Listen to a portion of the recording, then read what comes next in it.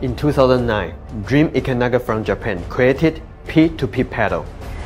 This effect can make the chocolate on the biscuit stick vanish, appear, change, and transport. This genius idea takes a classic to a new level.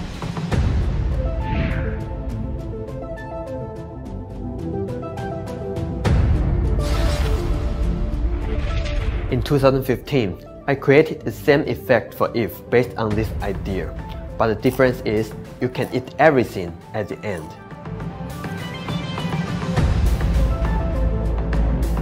Now, the latest version of P2P Paddle is presented to you. The gimmick looks highly realistic.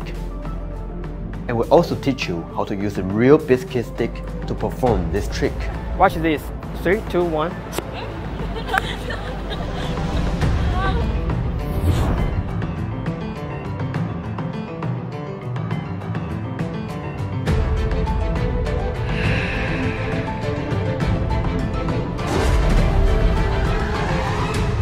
P2P Paddle comes in two versions, standard and deluxe.